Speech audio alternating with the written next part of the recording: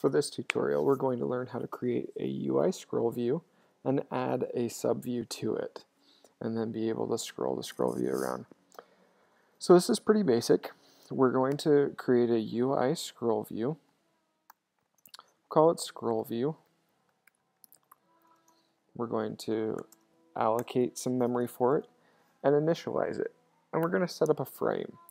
We've set up a frame by creating a rectangle that the scroll view is going to show in.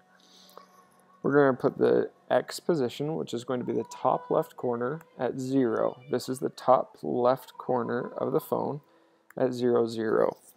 Top left pixel. The width of it we're going to set as self.view.frame frame dot size dot width and self.view.frame dot size dot height. What this has done is set up a scroll view with the same bounds as the screen. Self, in this case, is referring to you to this view controller that we're in. View is a view or an area that visually we're going to see that is connected to the view controller. Then we're going to get the frame of that view, the size, and the width and the height. After we've done this, we need to add the scroll view to self.view or the view controller's view. So we're going to do self.view, add subview, scroll view. Now scroll views are much like UI views and they have a lot of properties that you can set. One of them we can set is the background color. So we're going to scroll view dot background color.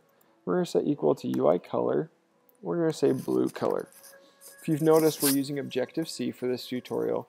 We'll also use Swift in a different tutorial on how to do this. From there, we're going to do a Command R, or we're going to push the play button and build and run this project. We should see when we run it, as the simulator pops up, a blue area that's a scroll view. that's it. If we look and we try and scroll though, nothing happens.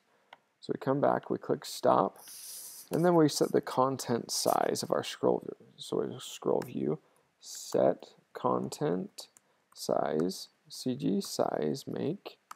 What that does is makes a size with a width and a height. We're going to set a width to self.view.frame.size.width times 3 and a height of self.view.frame.size.height.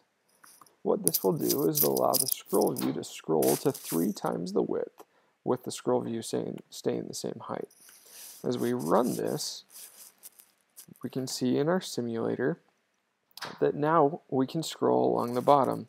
You can see the little scroll bar down there as it bounces from side to side, but we can, can't really tell that we're actually scrolling. So in order to do this, we're going to add another subview. We're going to call it a UI view. Uh, we'll call it red view. We're going to make it much the same as we made the previous one. We'll make UI view. We're going to allocate some memory, initialize it with a frame. We're going to make that frame be uh, 0 and 0, and we're going to make it be the same width as the scroll view.